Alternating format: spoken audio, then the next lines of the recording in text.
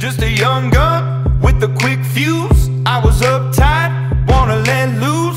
I was dreaming of bigger things and wanna leave my old. Good morning, Brecknock Elementary.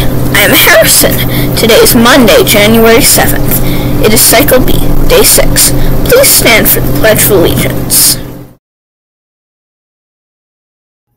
I pledge allegiance to the flag of the United States of America and to the republic for which it stands, one nation, under God, indivisible, with liberty and justice for all.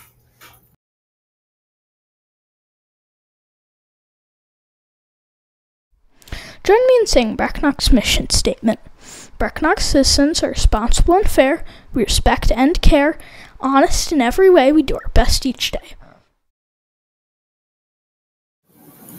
This week's word of the week is illustrious. Illustrious means well known and very distinguished.